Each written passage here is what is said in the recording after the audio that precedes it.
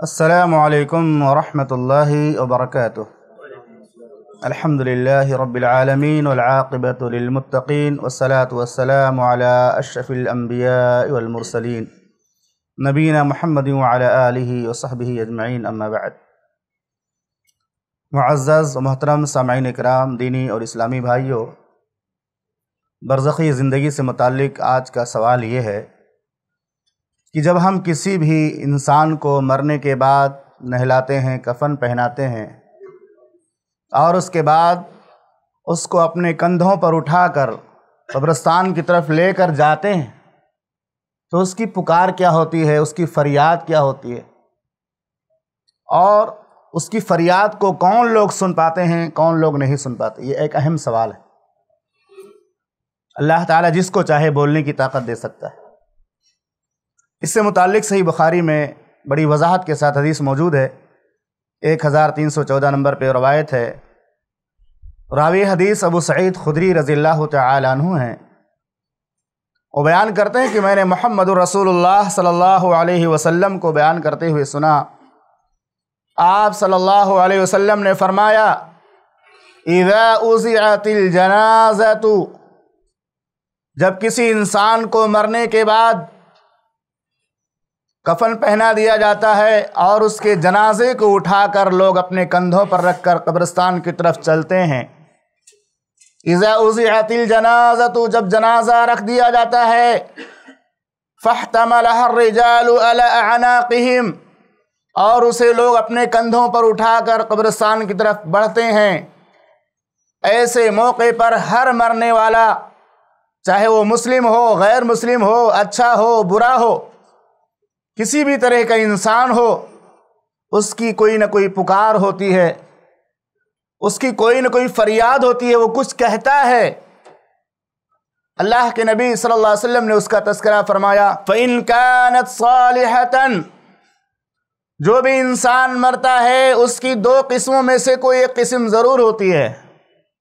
या तो इंसान अच्छा होगा, मोमिन और मुसलमान बंदा होगा अल्लाह की जन्नतों का मुस्तक होगा, या तो इंसान गुनहगार होगा, जहन्नम का और अदाब कब्र का मुस्तक होगा। मोहम्मद रसूलुल्लाह वसल्लम ने फरमाया फ़िन कानत सालिहतन क़ालत क़द्दिमूनी।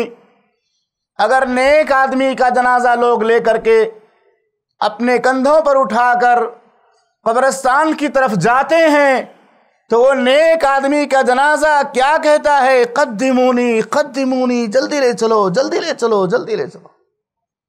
वह इनकानत गैर सालिहतिन। और अगर मरने वाला, जिसके जनाजे को लोग उठाए हुए हैं मरने के बाद, दुनिया में बुरा इंसान होता है, गुनहगार इंसान होता है, काफिर और मुशरक या मुनाफिक या फासिक व फाजिर होता है, नेक आदमी नहीं होता, बुरा आदमी होता है तो कहता है, या वही लहाबून बिहा? हाय अफसोस, हाय मेरी बर्बादी। लोग मुझे उठाकर कहाँ ले जा रहे लोग मुझे उठाकर कहाँ ले जा रहे नए धबून बिहा? यानी उसके जनाजे को उठाकर लोग उसके घर से कहाँ ले जा रहे उसके बाद मोहम्मद रसूलुल्लाह सल्लल्लाहु अलैहि वसल्लम ने फरमाया कुल्लु शैइन इल्लल इंसान। मरने वाले की उस पुकार को मैत की उस फरियाद को इंसान के अलावा सारी मखलूक़ात सुनती है। और बाज़ रवायतों में सकलैन का लफ्ज़ मिलता है कि इंसानों और जिन्नातों के अलावा तमाम मखलूक़ात उसकी आवाज़ को सुनती है। और अल्लाह के नबी सल्लल्लाहु अलैहि वसल्लम ने सबब भी बयान किया कि अल्लाह ताला ने उसकी आवाज़ को सुनने की ताकत इंसानों को क्यों नहीं दी है? फरमाया, वलो समल इंसान अगर इंसान वो आवाज़ सुन ले, उसकी फरियाद सुन ले तो इंसान बेहोश हो जाएगा। ये सही बुखारी की रवायत है। इससे ये बात मालूम होती है जो भी इंसान मर जाता है और उसके जनाजे को लोग उठाकर कब्रस्तान की तरफ़ लेकर जाते हैं तो उसकी फरियाद होती है। अच्छा आदमी होता है तो कहता है, जल्दी ले चलो, जल्दी ले चलो। और बुरा आदमी होता है तो क्या कहता है? बुरे आदमी की मैयत होती तो क्या कहती है? हाय अफसोस, लोग कहाँ ले जा रहे हैं? कहाँ ले जा रहे हैं? कहाँ ले जा रहे हैं? ये उसकी फरियाद होती है। इससे पहली बात ये मालूम हुई कि मलकुल मौत रूह निकालते वक्त ही मरने वाले को अगर नेक है तो जन्नत की खुशखबरी सुना देते हैं, और अगर बुरा है, जहन्नमी है तो दोजक की बशारत सुना देते हैं। अय तो है नफ्स तय्यबा। अय तो है नफ्सुल खबीसा, इस तरह के अल्फाज हदीस के अंदर मौजूद है। ए पाकिजारू, अल्लाह की रजा जोई और खुशनोदी की तरफ़ निकल। अगर नेक होता है मरने वाला तो इस तरह की बात फरिश्ते करते हैं। और अगर बुरा होता है तो कहते आइए तो नफ्सुल खबीसा, ए खबीस रूह अल्लाह के गजब और उसके अजाब की तरफ़ निकल। तो मरते वक्त चूँकि ये बातें फरिश्ते कर देते हैं, इसलिए नेक आदमी तो खुश हो जाता है। अब तो मेरा बेड़ा पार हो गया। अब तो मैं परेशानियों से निजात पा गया। अभी कब्र में जन्नत की खिड़की खोली जाएगी, जन्नत का बिछौना बिछाया जाएगा, जन्नत की खुशबू आएगी, ये सारी चीज़ें उसको मालूम हो जाती हैं कि मेरा बेड़ा पार हो गया, मैं तो कामयाब हो गया। और गुनहगार इंसान सोचता है, दुनिया में जब तक रहा अल्लाह की ना नाफरमानी करता रहा, अब अल्लाह का आजाब शुरू होने वाला इसलिए वो कहता है, नेक आदमी की जल्दी ले चलो। और बुरा आदमी मरने के बाद जब उसकी मैत लोग उठाते हैं बुरे आदमी की तो कहता है, कहाँ ले जा रहे हो? कहाँ ले जा रहे हो? वो मैत की आवाज़ ही होती है, कहाँ ले जा रहे हो? दूसरी बात इस हदीस से मालूम हुई कि कुछ आवाज़ें ऐसी हैं जिसे इंसान और जिन्नात नहीं सुन सकते। ये अल्लाह ताला का हुक्म है, अल्लाह की कुदरत है, जिसको जो चाहे सुनाए, जो चाहे ना सुनाए। आप गौर कीजिए, वो, उसकी फरियाद आती है।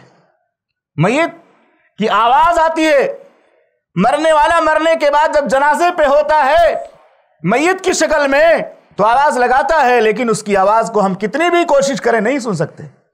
कितनी भी तरक्की कर लें दुनिया की इजादात में, साइंस में, टेक्नोलॉजी में, लेकिन उस आवाज़ को हम सुन नहीं सकते। अल्लाह ताला ने खास कर दिया कि इंसान उसे सुन नहीं सकता है।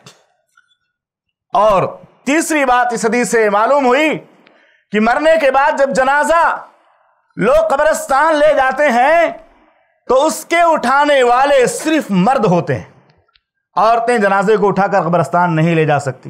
इमाम बुखारी ने बाकायदा बाप बांधा है कि जनाजे को कौन उठाएँगे? मर्द हजरात उठाएँगे।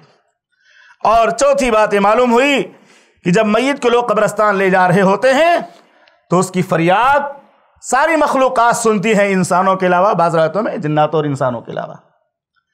और पांचवी बात ये मालूम हुई कि मैत की आवाज़ इतनी डरावनी होती है जब लोग उसको कब्रस्तान की तरफ़ ले जा रहे होते हैं, इतनी डरावनी होती है, इतनी डरावनी होती है।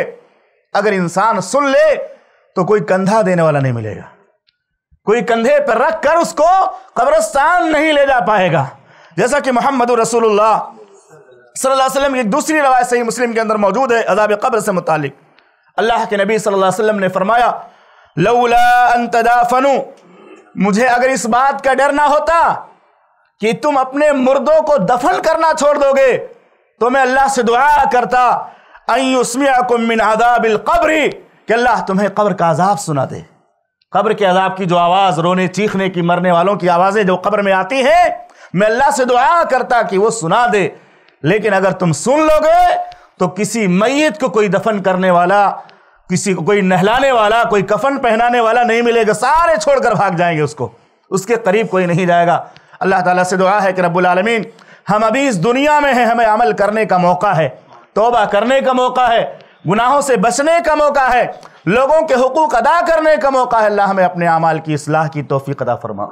हमारे गुनाहों को दरगुजर फरमा, हमारी गलतियों को माफ़ फरमा, और हमें उस कब्र को और मौत को कसरत से याद करने की तोफ़ी अदा फरमा, और ईमान के साथ मौत नसीब फरमा अमीन वसल्ला नबी करीम। अल्लाम वरहमल ऐसे ही फ़ायदेमंद इस्लामिक वीडियोस देखने और मनहज सलफ़ पर किताब सुन्नत की तालीमत को आम करने में हमारा ताउन करें, ताकि आपके लिए ज़रिया नजात, जन्नत के हसूल का सबब, साथ ही माल में बरकत व इजाफे का ज़रिया भी बने।